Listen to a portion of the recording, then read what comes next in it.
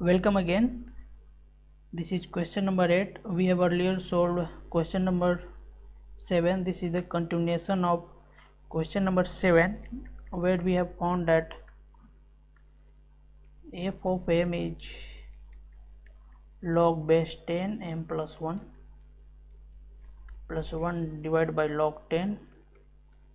m plus 1 and by looking at this function we have to choose some option. The jeweler sold and one condition was also given m and n is greater than 9 okay? M is greater than n greater than n is greater than 9 so we have to find the jeweler sold at least 540 kg gold in 2019 the jeweler sold at least 730 kg 2 kg daily or 10 kg daily okay? So we have to find how much total in the whole year and what is the minimum amount that the jeweler sold daily okay? So by looking at this function we can say this is greater than 0 and this is also greater than 0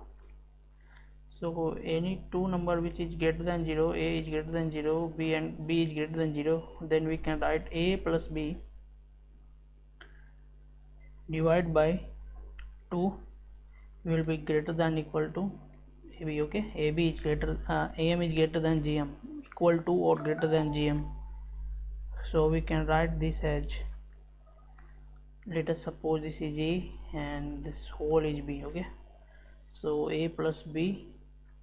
divided by 2 will be greater than log uh, 10 m plus 1 multiplied by 1 by log 10 m plus 1 this will balance out and this will give a plus b is greater than 2 okay? So by looking at this uh, by looking at this function we can say its minimum value will be 2 and it is uh, its minimum value by looking at this function by point by applying am is greater than equal to gm we can say that this function is greater than or equal to 2 okay? Since the jeweler sold at least 2 kg gold per day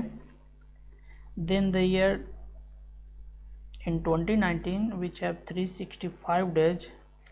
if he sold the minimum amount that is 2 kg per day so he will sell 600 plus 130 that is 730 kg of gold. The minimum amount of gold the jeweler will sell the jeweler have sold in 2019 is 730 kg. So the option 2 seems correct okay? So the first option is incorrect and the fourth one is also incorrect thank you